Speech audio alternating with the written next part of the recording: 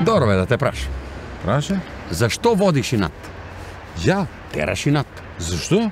И па и ја викам зашто. Абе, зашто си му на твое куче дае име Црни, като оно е бел? Ха-ха, тој ми од комши, бе. Негова жена, па знаеш го се вика? Лепа. Он го вика Лепа. Добро, што има везе жена со куче? Е, жена с куче нема везе, ама има жена везе с име. Он го вика Лепа, а да го видиш, бе, братче, она ружна како ноќ. Ама ти сакаш да кажеш дека тој има исто везе како, например, на мој жено што се вика мајка Добринка. Исто така, исто. А на твоја жена мајка како се вика? А она се викаше, не, не се вика више, вика го Господ њому. А, извини. Бог да го прости, не сам знае. Бог да Абе и ке умре жена. бе. Абе у данашно време поише ке живиш од сиду него да пенсија. Извини, не сам знае. А ти ново ли си потресен?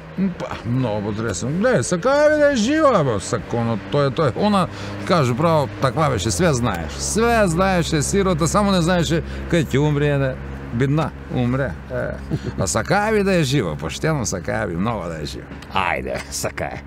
Е, па ти ке си прву историја на дома злък, тоест зет што живи куде бабу, да сака баба му да е жива. Зашто да е жива? Е, како бе, зашто многу сакам да е жива и да го виду како ќе се понаша тако е затворена у топломер.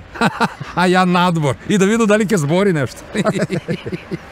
Е, е, ти кажи, можда си управа, ти кажи. Овај мојата па ќе дојде дома куде мене. А, Ја од зор не ставljam маску преку уста овакој. него? Од што сакам да го гледам. Маску го ставljam преку очи. Овакој. да го не видиш. Да го не виду. А чекай бе, па ти се вали кад бесмо да купуваме доручак, носеше го маску преку очи, њум да не го виде. Овакој го носеше, да.